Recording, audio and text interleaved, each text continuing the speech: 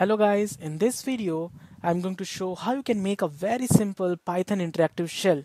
Okay, so you must already be familiar with the actual Python interactive shell which you get by just typing the Python command here on the command line prompt. So now there is an input prompt here, you just type anything and you get its value, right?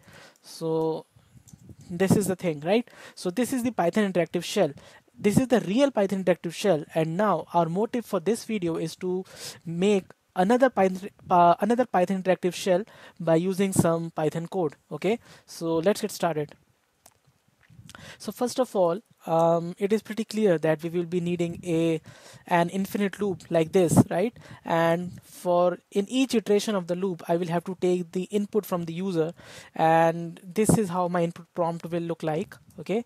And I should put some kind of break condition here right? So if x is exit that is if user enters exit then in that case I will break out of the loop okay?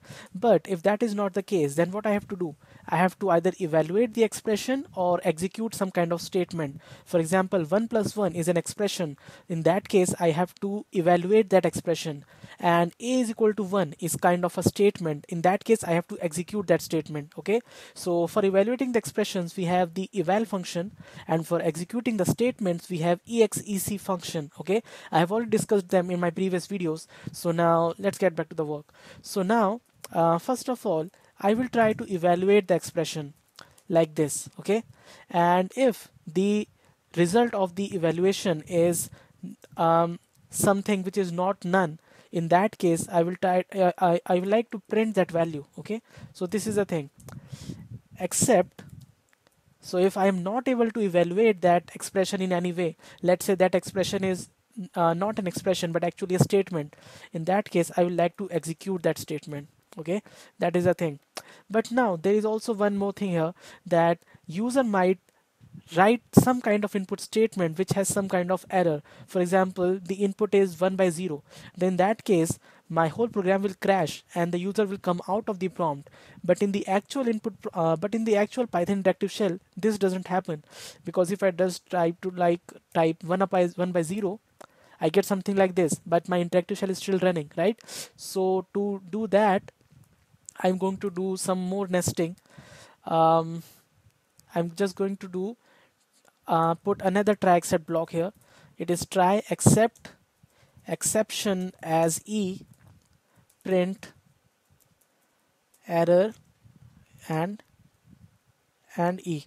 Okay? So this is what I'm going to do here so this is my complete uh, Python interactive shell. This is a very simple one and it doesn't have many advanced capabilities but it is still pretty good in 13 lines of code. So let's try to run it okay.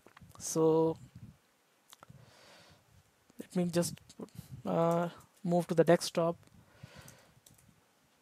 and now let me try to run my shell.py that's the file name okay so look at that I got the input prompt right so now let me just try to type 1 plus 1 I get 2 right?